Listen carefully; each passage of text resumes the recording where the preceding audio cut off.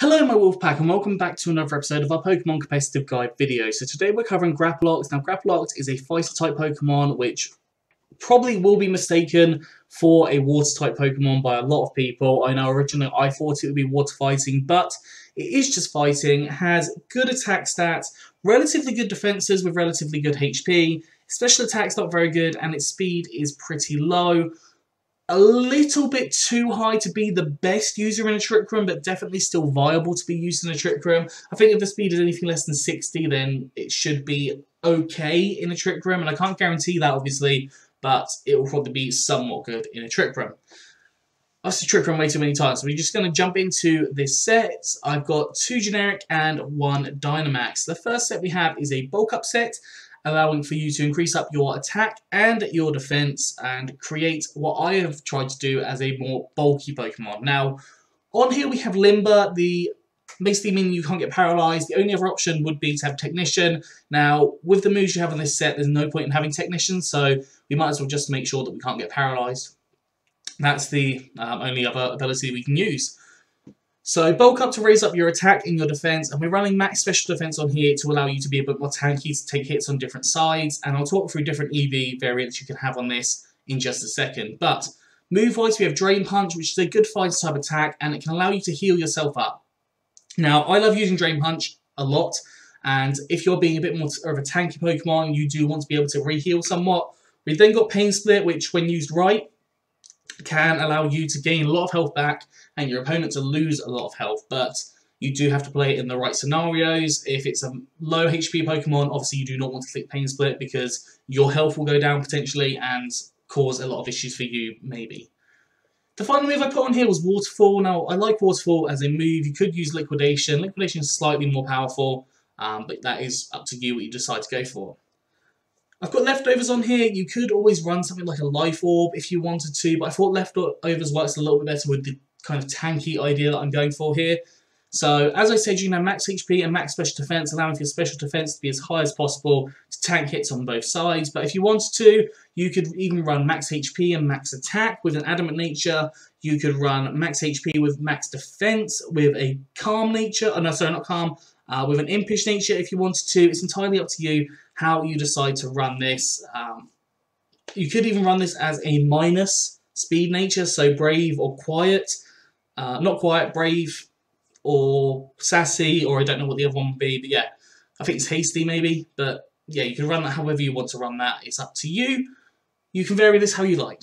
The second set we have is an Assault Vest set with Power Up Punch. Now, the good thing about Power Up Punch is it can raise up your attack stat by one every time that you use it. I believe it is a egg move, so and it is quite difficult to get on from what I can remember, but I might be thinking that's slightly wrong. But yeah, we have Power Punch, allowing you to raise up your attack stat by one stage each time it's used. And then move-wise, we have Ice Punch, Liquidation, and Sucker Punch. Now, Ice Punch, super effective against flying types. Liquidation, powerful water type attack, it's a variety of Pokemon. And Sucker Punch, which is a priority move. It's nice to have some priority because of your um, quite slow speed here as well. Assault Vest on here allowing you to... Um, I've lost my train of thought yet again. Uh, Assault Vest allowing for 1.5 times in your special defense, just making you a little bit more bulky on that side. You could add Drain Punch onto this set if you wanted to make sure that you was healing up a little bit more. Uh, that is an option for you. Now, EV-wise, this is a little bit all over the place, but I'll explain kind of where my idea was going from, and then I'll give you some different variants. So we have max HP, max defense, 4 in special defense, and a adamant nature. So I thought here, as you're raising up your attack stat, maybe having the adamant nature would just give you that little bit of a boost, uh, but possibly not having that extra plus in the defense. So it means that um, you've just got that extra attack power. You could always go for a uh, impish nature if you wanted to. I put the 4 in special defense to allow for that assault vest to just get that little bit more damage off there. Um, so yeah, you could run this as max HP, max attack, max HP, uh, max defense, max HP, max special defense if you wanted to. A couple of different options that you can run, especially basing on what different movesets you go for. So if you're going for more the Drain Punch, you might want to go more defensive, but it depends what you're looking for for your team. The final set we have, and the Dynamax set, is um, a Life Orb set, so you can also have a Choice Band on here if you wish. Now, Choice Bands aren't activated when you're Dynamaxed, so you can use any move that you want.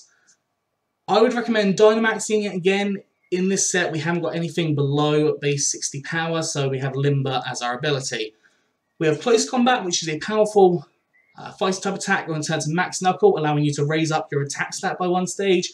We've got Stomping Tantrum, which is a powerful ground type attack. It will turn to Max Quake and allow you to raise up your special defense by one stage each time you use it. And Waterfall will set up the rain if you need it, maybe for another member of your team, for example. And then Pain Split will turn to Max Guard, or you can use it to make sure that your health is being conserved later on. As I've said previously, you could put Drain Punch on here instead of Close Combat, depending on what you're wanting from the roles, uh, but it's up to you what you decide to go for.